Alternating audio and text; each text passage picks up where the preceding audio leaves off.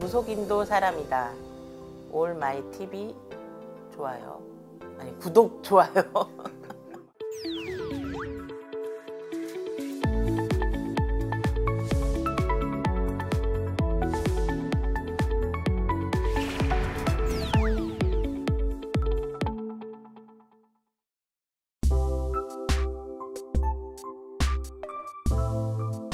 정의라기보다는 일단 우리 무속인들은 말 그대로 그냥 신점을 보는 사람들이에요. 철학가는 글로 푸는 거지. 그리고 그분들은 영이 거의 없을걸?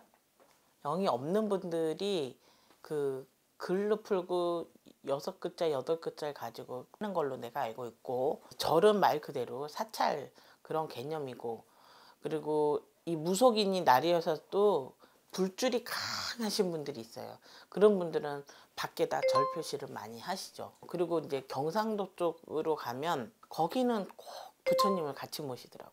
거기는 이제 불교가 강한 지역의 특성이고 그다음에 우리 이북꽃 하시는 분들은 말 그대로 내림을 받아서 하시는 분들이에요. 우리는 이제 말 그대로 그냥 신점 본다. 영으로 본다. 그렇게 생각하시면 돼. 그래서 그 사람이 딱 들어왔을 때 느낌이 오, 오죠. 이 사람 뭐가 뭐가 뭐가 안 좋고 뭐가 뭐가 오시고 말 그대로 속된 말로 귀신도 쫓아오셔서 조상이 쫓아오셔서 나한테 살짝 실려서 이래 이래 이래 하고 마치는 거예요. 그러니까 우리가 알, 마치는 거지 어떻게 알고 마치겠어.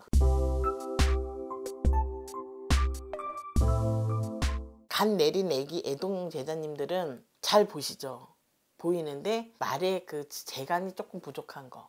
그거 차이인 것 같아.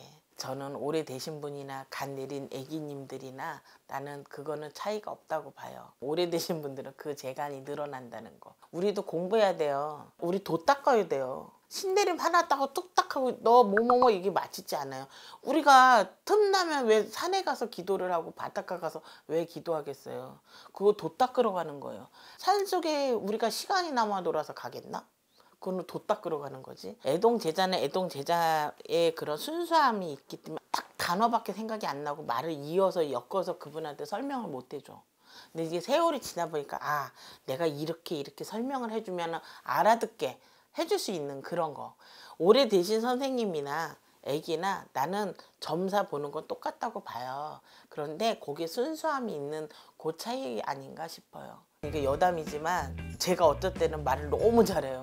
내가 깜짝 놀래요. 나에게 이런 능력이? 그런데 그게 알고 보니까 내 할머니가 오셔서 내 할아버지가 오셔서 손님한테 말을 참 멋있게 이쁘게 해주실 때가 있어요. 나의 노력이 보이기 때문에 그분들이 오셔서 그런 말을 해주는 거고